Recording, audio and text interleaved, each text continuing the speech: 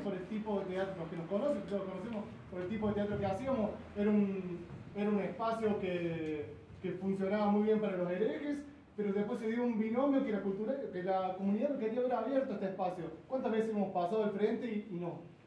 Nos da una intriga tremenda de recorrer de punta a punta este espacio. Entonces, ese, ese binomio se fue haciendo mucho más fuerte,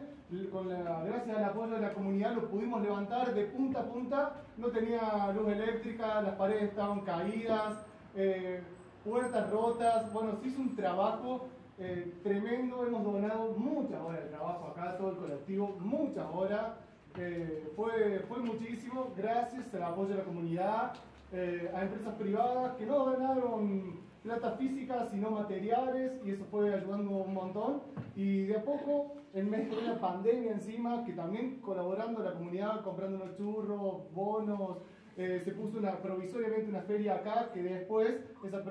ese que era provisorio quedó permanente y hoy es un motor económico donde sostiene cinco empleados permanentes ahí adentro. El, el espacio sostiene nueve empleados permanentes, que para nosotros es un montón. Eh, podemos discutir si están en blanco en negro, que eso nos duele muchísimo y todas las semanas nos juntamos a decir cuándo vamos a poder blanquear algo, cuándo vamos a empezar a hacer las cosas bien y salir de esa precarización laboral que teníamos o que tenemos, que estamos todavía trabajando en eso. Eh, de lo que va del año, duplicamos lo que fue el año pasado, que todavía estaba la pandemia, este año se duplicó todas las actividades, tenemos 15 talleres anuales